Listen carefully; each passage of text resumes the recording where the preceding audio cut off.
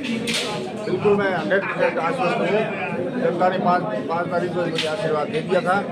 और आज जो है मतगणना की जो एक नंबर गेम है कितने वोटों से रहेगा ये औपचारिकता आ, चेहरा बता रहा है काफ़ी लंबी चौड़ी जीत हासिल करेंगे। किस तरह से देखते हैं?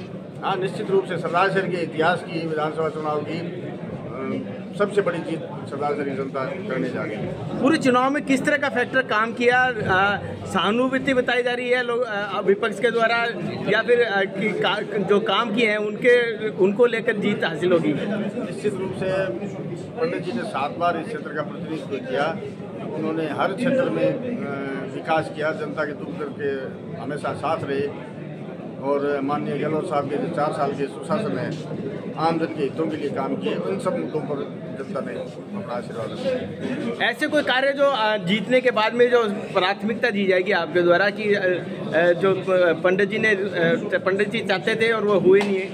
निश्चित रूप से सारी बातें मैं थोड़ी देर बाद में आप आपसे करूँगा चर्चा करूँगा। धन्यवाद।